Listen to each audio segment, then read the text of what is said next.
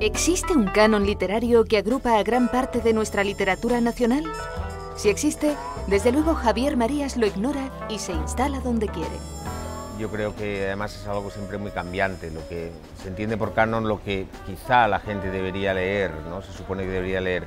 Pero eso para mí es una cosa tan, tan personal, eh, tan, eh, tan eh, poco compartible con los demás, que yo creo que cada persona probablemente tiene uno, entonces pues nunca daría mucho crédito a ninguno establecido o preestablecido por nadie.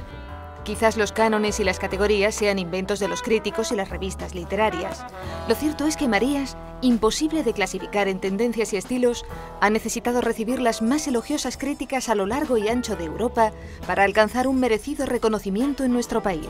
En España siempre me he encontrado con bastantes más reticencias y bueno, en fin, supongo que eso es una cosa hasta cierto punto habitual también, ¿no? En el propio país intervienen factores a veces que, son extraliterarios, incluso las antipatías o simpatías que uno suscite. En mi caso, además, como soy escritor de prensa también, pues hay artículos que me imagino que a alguna gente le han sentado eh, como una patada en los dientes. Con su última obra, Veneno, Sombra y Adiós, Marías cierra su trilogía de Tu rostro mañana que inició en 2002. Una obra llena de reflexiones contundentes, con una prosa exacta y precisa. Un libro ausente de certezas.